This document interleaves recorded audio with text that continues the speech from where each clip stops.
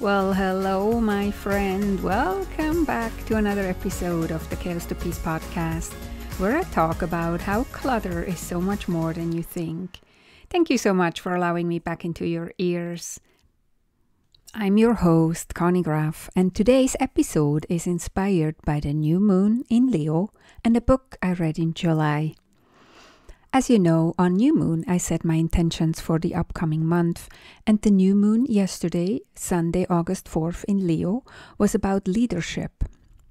Being courageous, generous, passionate, proud, creative, playful, to have fun, to put yourself first, to put yourself out there, and to show up for yourself. That's part one. And then the second part that inspired this topic or this episode is the book I read. And it the book I read last month was called Overdeliver by Brian Kurtz. And while the book is about direct response marketing, and to be honest, I didn't finish it reading it just yet, as it's often too advanced to where I am at in my business.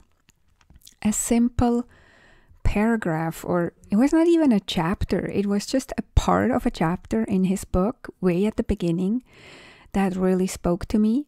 And it actually shook me and shifted my perspective. That doesn't happen that often. And what I'm talking about is his concept of the power of 100 to 0. Brian Kurtz says, give 100% in every relationship no matter what comes back. For many reasons, I find this fits so well with the new moon. But for one, it is about becoming a leader, being courageous, but also being generous. To just shine and don't expect anything in return. Basically, shine like the sun. Be like nature. Be generous. Give. Radiate. Send goodness out no matter what.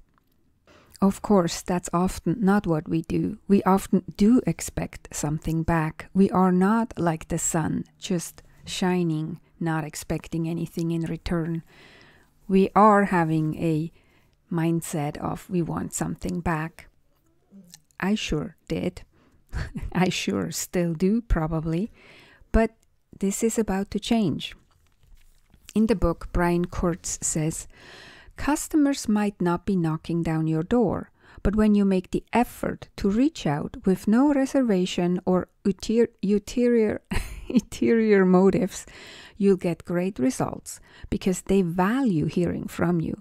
You can let the imbalance annoy you, own you, or make you quit, or you can accept it as a reality and make the most of it.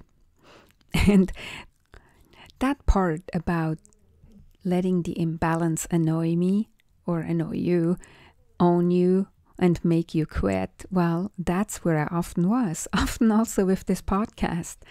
It's annoying sometimes. It's a very passionate project. It takes a lot of time and effort to create. And sometimes I really feel like there is nothing coming back, or at least not much. But his perspective of always giving 100% no matter what, like I said, that really spoke to me, but it also shook me because I realized I do expect something back. And I don't like that part about myself. So Brian goes on in his book, I quote, Give 100% of your effort in all your relationships, personally, professionally, with friends and family, with colleagues, and with your audience and customers, even when it seems like the other party is making no effort at all. The best result in any relationship comes from consistent, generous effort that demands nothing in return. It takes away so much stress you give 100% of your effort at all times, even if the other side is giving nothing. All that stress of keeping score, of tracking how much they gave you compared to what you gave them, it's just not worth it. I encourage you to let it go. It's just wasted energy. When you bring 100% to any relationship, the payoff of having these people on board is almost always worth the extra effort you hear that, you may want to rewind and re listen to what he really says here. This is really deep. And it goes again so well with the intention for the Leo season of being passionate, generous, show up, show up for yourself, show up for the others, shine, but also with clearing clutter, right? Because he does say here that keeping score, the stress of tracking how much they gave you compared to what you gave them, that it's not worth it, and that he encourages us to let it go. Yes, so let's declutter this mental clutter that creates emotional clutter. It's literally just wasted energy. He is so right in that. He also says in, in that part of the book Earlier in my life, I wondered why it always had to be me that made the extra effort to keep in touch and why they weren't as motivated to maintain the relationship. But I learned that my disappointment was wasted energy. It wasn't that they didn't love me, they just didn't have it in them to work that hard with everything else going on in their life. But when we did connect, it was always a blast. These were lifelong, deep connections, so eventually I accepted that I would be the one to be much more proactive about keeping these relationships meaningful. End of quote. And this is also where he really got me, where he hit that nerve. That's exactly how I felt all my life. It seemed that it always had to be me that reached out to people.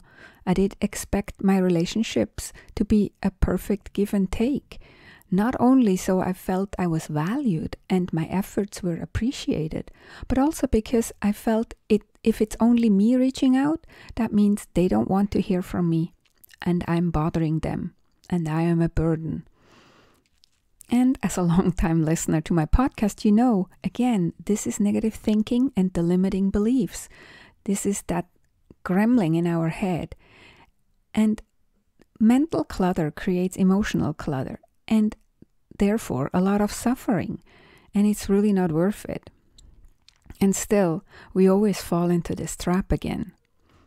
Brian goes on to say, It's easy to feel hurt or to take it personally when you are making a disappropriate effort. But when you bring 100% to any relationship, the payoff of having those people on board is almost always worth the extra effort. If I had expected all my relationships to be a perfect give and take, if I had waited for these guys, and he talks here about his best friends, to meet me halfway, I would have missed out on years of friendship with some of the most important people in my life. End of quote. And this one really stinks because I can see where I have missed out on friendships because of this tit for tat approach of mine. Me feeling I'm bothering them, me feeling that they needed to bring 50% to the relationship, me feeling like they had to reach out for a change, not always me. I felt resentful so often. And because of this mental and emotional clutter, I have given up on some friendships out of self centeredness, pride, and stubbornness, stubbornly clinging to the concept that it had to be a perfect give and take, 50 50 in the relationship. So now, to make this even more interesting, is the word I had picked for 2024 back at the winter solstice 2023. So in December 2023, the word for 2024 that I picked is connection. I wanted to be and feel more connected in 2024. I wanted to create more connections in 2024. But these first seven months, I wasn't really that successful at it. And I think I know now why. I think it has to do with me not looking at it as giving 100% to the other party no matter what comes back. So, this new moon in Leo, I set the intention to from now on give 100% in every relationship, personally, professionally, with friends and with family, with colleagues and with my audience. That is you, my friend and listener and with my customers. This intention requires from me to be courageous for reaching out over and over. Be generous. No matter what comes back, I stay open and I reach out again. It requires for me to be passionate, passionate about keeping those relationships alive or passionate to build these relationships in the first place. It requires from me to be playful and have fun with it instead of making it hard and a tit for tat game full of resentment. It also requires me to put myself out there to show up for me and for the relationship. It requires me to declutter my thinking. It requires me to let go of the thoughts I'm bothering them. Until they tell me so, this is just sabotaging myself. I also have to let go of pride, being too proud to be the one reaching out over and over. I have to let go of stubbornness, thinking it needs to be 50 50, tit for tat, when it really only needs to be 100 to 0, just as Brian says. I have to let go of self centeredness, thinking I am bothering them or it's always me, when I don't know what's going on in their life and why they might not have the energy to reach out to me. And before I end this episode, and I don't want to make it all about me, you might not have that struggle at all. You might be like Brian and have realized already from the beginning that it is 100 to 0 to always give 100% in any relationship, no matter what. Well, then, my friend, chapeau. So, if that's the case, here are some questions that you can ask yourself to set your own intentions on this new moon in Leo. Where do you need more courage? In what situation do you want to be brave? How can you take a more playful approach to clear clutter and get organized? What brings you pure joy? How can you bring more of it into your life? Where are you the most creative and how can you bring more of that in your life? How can you live more from the heart? Because Leo is also about the heart. Ask yourself about letting go. In what ways might pride be hindering you? Where might you be stubborn and sabotaging yourself? And in what ways are negative thinking and limiting beliefs hindering you? Here are also some sample intentions to inspire you. I have fun when I let my heart lead. I practice open heartedness and courage. I am generous in everything I do and with everyone I interact. I shine and am myself with everyone and in all situations with no apologies.